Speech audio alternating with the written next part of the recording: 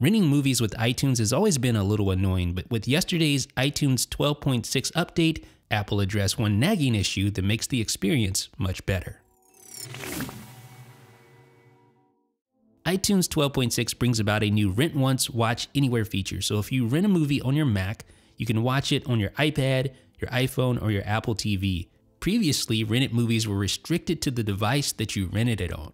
But with iTunes 12.6 and the latest iOS and tvOS betas, that is no longer the case. Now, keep in mind that you will have to be running iOS 10.3 for this to work on your iPhone or iPad, and that's currently in a public or developer beta.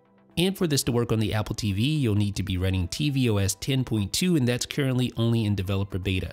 The good news is that these software updates should be releasing publicly soon for all users, so stay tuned for that. So I rented this movie here on my MacBook Pro and previously I would have been restricted to watching this on my MacBook Pro only, but now with these latest updates, I can go out to my iPhone, open the TV app, you can see under library, my rental shows up. So I can watch this rental, resume it, pick it back up right from my iPhone after watching it on my Mac or vice versa.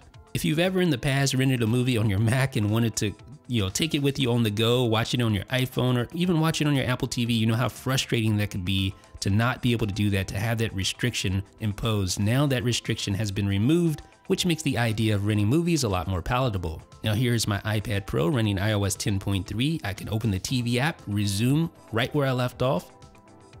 But watch what happens here, something interesting.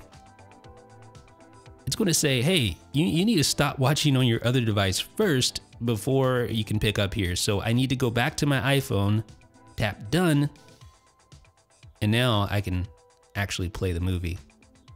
So just something to keep in mind there. But as you can see, it does pick right back up, just like that, folks.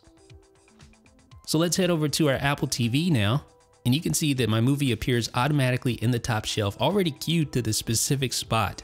So let's go ahead and launch the movie here. And something a little interesting, it says, hey, you have 24 hours. It's almost like I'm watching it for the first time, even though I've already started watching it on other devices, and it will still pick up right where I left off. So I don't know what's up with that, but it is working properly and it resumed the movie right where we left off. So ladies and gentlemen, what about you? Will Rent Once, Watch Anywhere prompt you to rent more movies? Let me know in the comment section and leave me a thumbs up if you appreciated this explanation. This is Jeff with 9 to 5 Mac.